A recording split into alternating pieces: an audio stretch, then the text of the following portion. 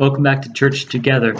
I'm Pastor Gary, and in this series, at least for the moment, we're praying suffrages and we're meditating on the writings of Dietrich Bonhoeffer in his classic Life Together. Let us pray.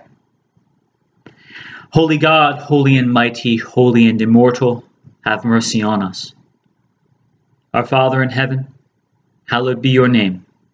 Your kingdom come, your will be done, on earth as in heaven. Give us today our daily bread. Forgive us our sins as we forgive those who sin against us. Save us from the time of trial and deliver us from evil. For the kingdom, the power, and the glory are yours, now and forever.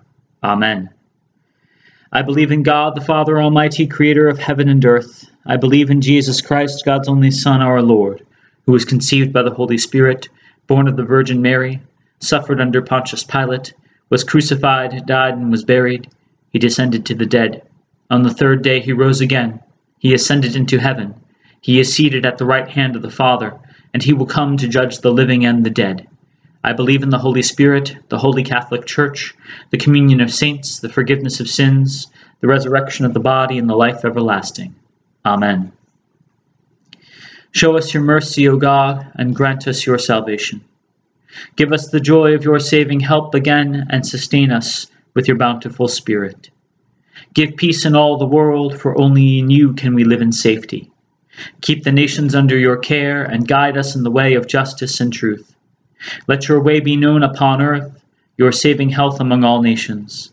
Let not the needy be forgotten, nor the hope of the poor be taken away. Create in me a clean heart, O God, and sustain me with your Holy Spirit. Lord, hear my prayer, and let my cry come before you.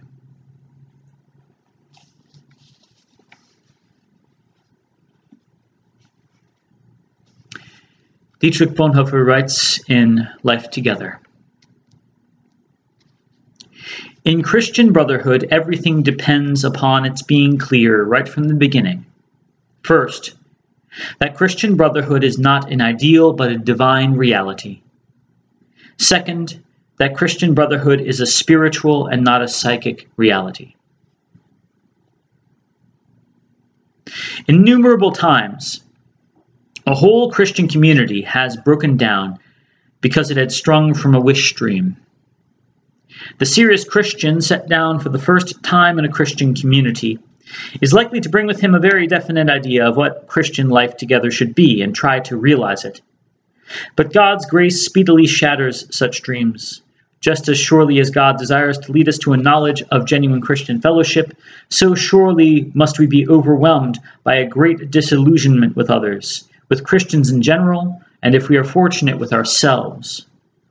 By sheer grace, God will not permit us to live even for a brief period in a dream world.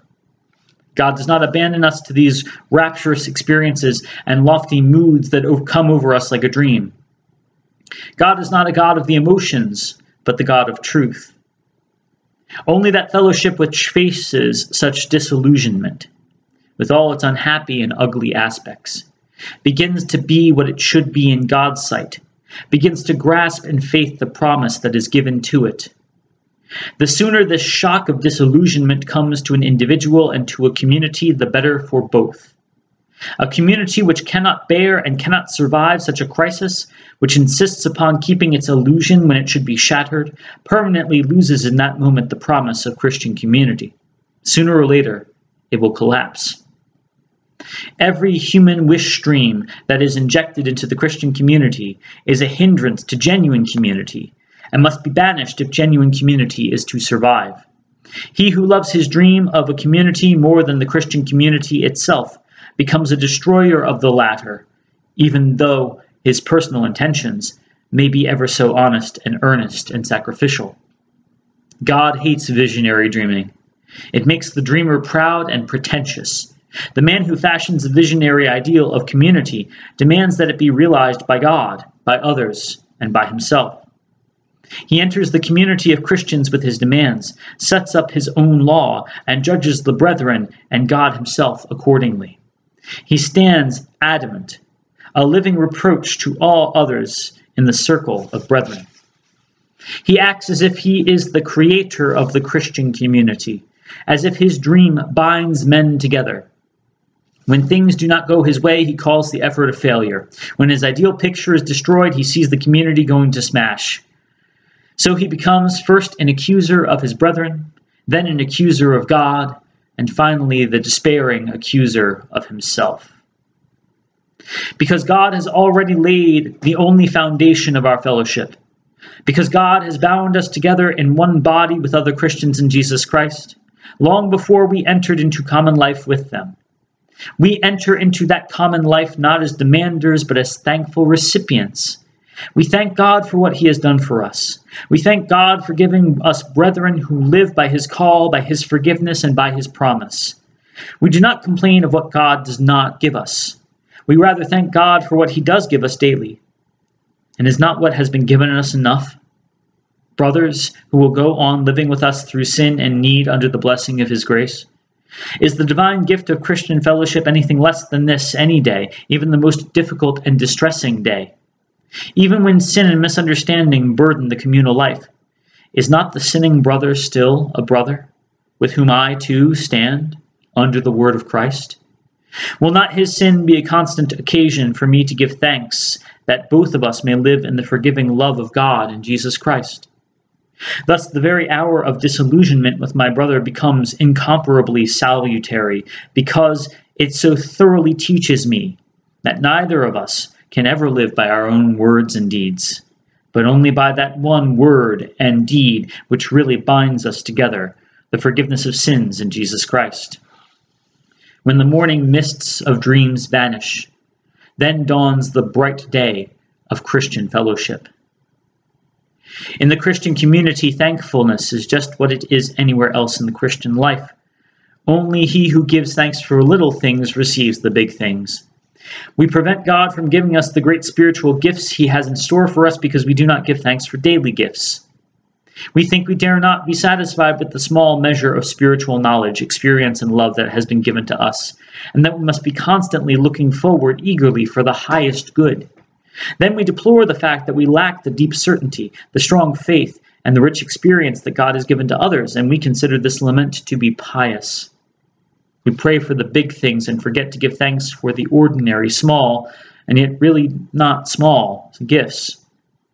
How can God entrust great things to the one who will not thankfully receive from him the little things?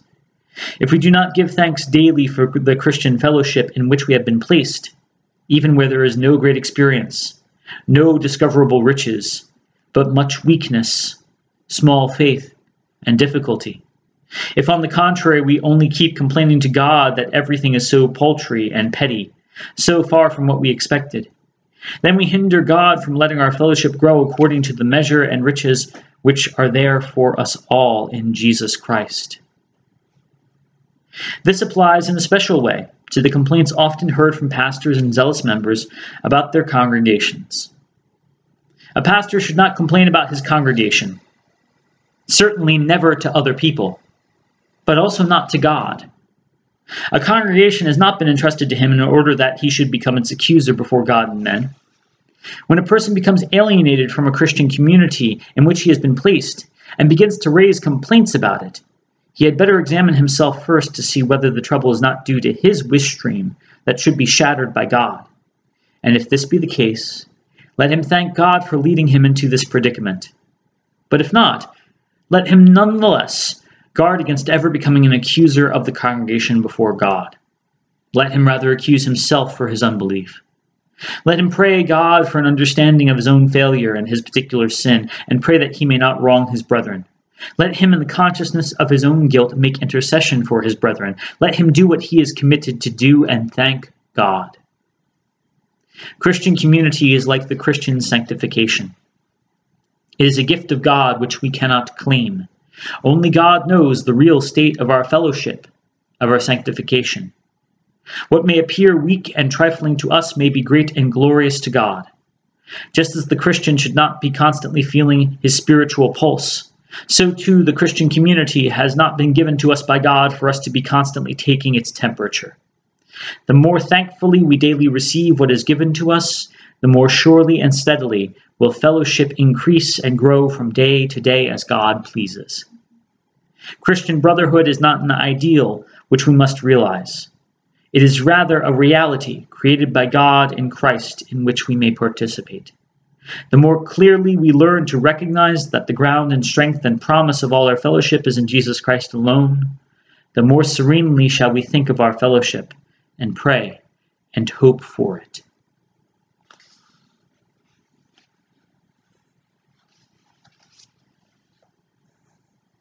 The Lord be with you. Let us pray.